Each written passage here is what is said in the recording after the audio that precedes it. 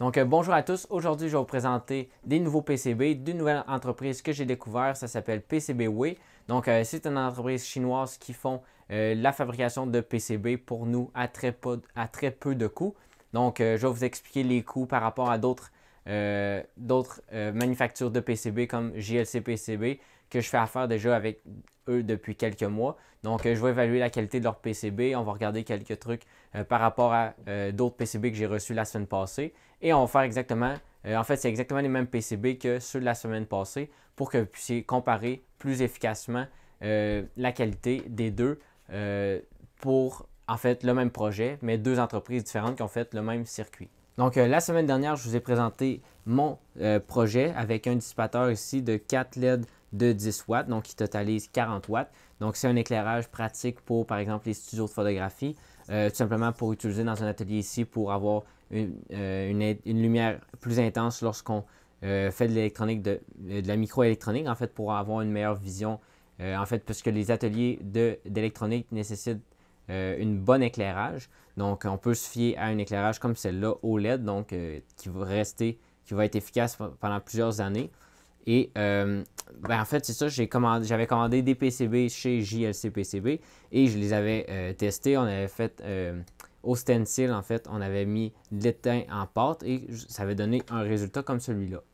Pour cette semaine, en fait, j'ai commandé des PCB chez PCBWay, donc euh, une nouvelle entreprise que j'ai découvert qui est euh, une entreprise chinoise qui font des, euh, la manufacture de PCB.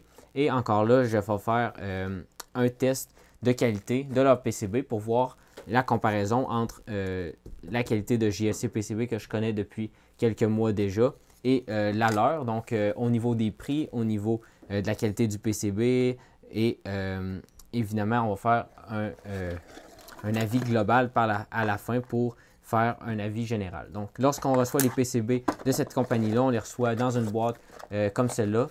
comme c'est des PCB qui sont comme ceux-là à rabais lorsqu'ils sont de 10 cm par 10 cm, nécessairement, on peut en commander plusieurs pour un prix très, très abordable. Donc, euh, comme vous voyez, j'en ai commandé une dizaine pour euh, une dizaine de dollars probablement. Il va falloir que je revérifie sur mes factures.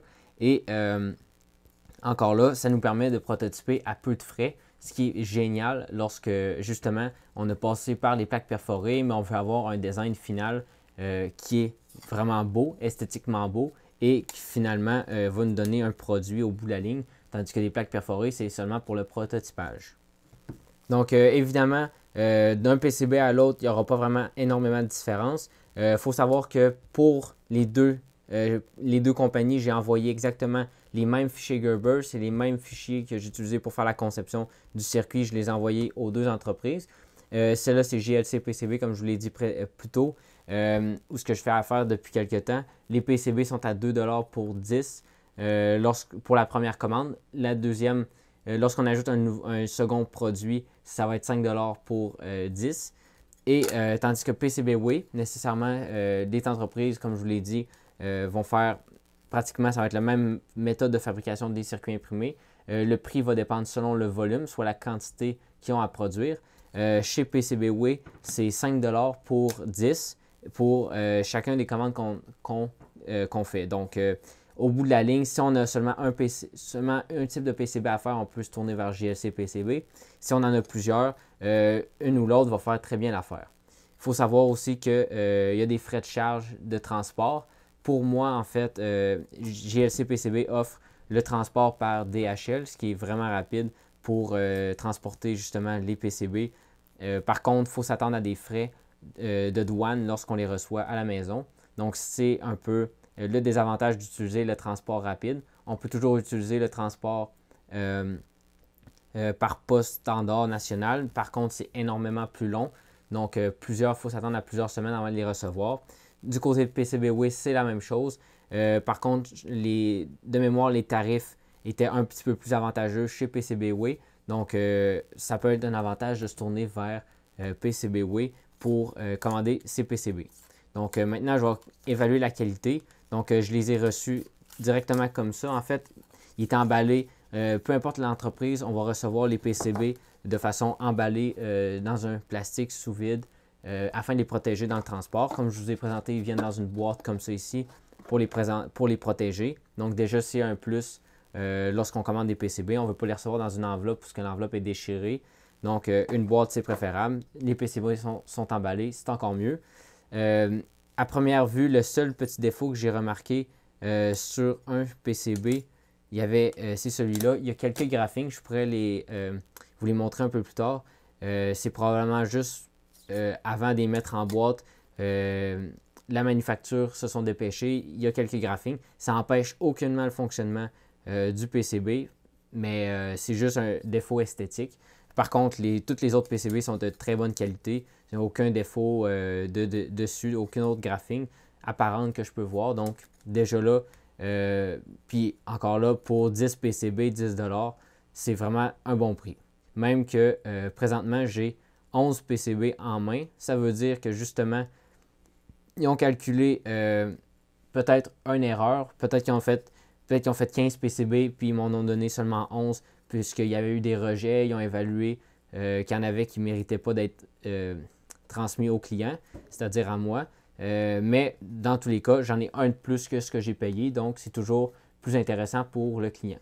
Donc, pour ceux qui n'ont pas encore vu la vidéo de la semaine passée sur mon projet, je vais faire tout simplement une brève description. Et ça va faire un petit rappel pour ceux qui l'ont déjà vu aussi, que ça leur intéresse vraiment de réaliser euh, ce projet-là. Donc, c'est un projet très simple. Euh, les fichiers sont disponibles sur mon site internet pbelectronique.com.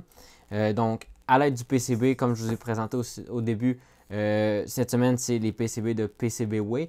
Donc, on va souder toutes les composantes et tout simplement, on arrive avec un, avec un résultat comme celui-ci. Donc, comme vous voyez, il y a un circuit de température ici au centre il y a un microcontrôleur ici pour euh, en fait interpréter la température qui est lue ici, puisque c'est une communication qui est I2C entre le circuit de température et le microcontrôleur.